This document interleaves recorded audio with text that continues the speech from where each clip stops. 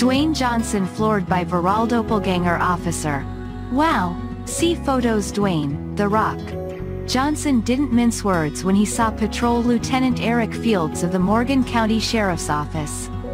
The Alabama police officer looked like The Rock's long-lost brother or potential stunt double on the next Fast and Furious movie. Oh shit. Wow.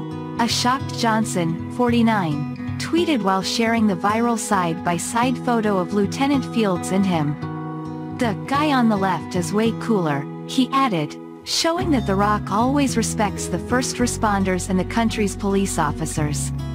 Stay safe, brother, and thank you for your service. One day we'll drink Teremana, tequila, and need to hear all your Rock stories, because I know you got M. The Rock Doppelganger, Rockelganger, went viral two weeks ago after the Morgan County Sheriff's Officer posted a picture of him on Facebook, HT People.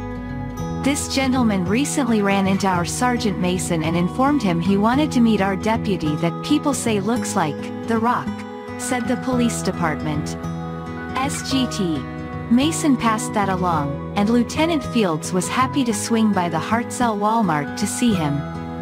Tyler is one of their many hard workers, and it was great to meet him and some of his co-workers. I've been called The Rock and Vin Diesel's love child, Lieutenant Fields, 37, told Al. Com. The 17-year veteran added that he doesn't mind the comparison. I go along with it. It's humorous. It's flattering. It could be worse people, I guess. He was also commented on the viral Facebook post and how he couldn't disappoint the fan who wanted to see the officer who looked like his action movie hero. The blessing was really for me because he had a spirit that was just such a great person to meet. Lieutenant Fields said, he's the real celebrity, everybody knew him and loved him. It was a blessing to me. I go trying to bless someone else, and I come out with the blessing of meeting him. I wish the actual Rock could meet this kid. He's the hometown hero. I don't want to disappoint anybody, the officer said to Al. Com. I walk up one day, and at a different angle, I don't know. It's flattering, but it's also a little nerve-wracking as far as what others expect, I guess. I just plan on being me. I'll cut up. I'm a big cut up.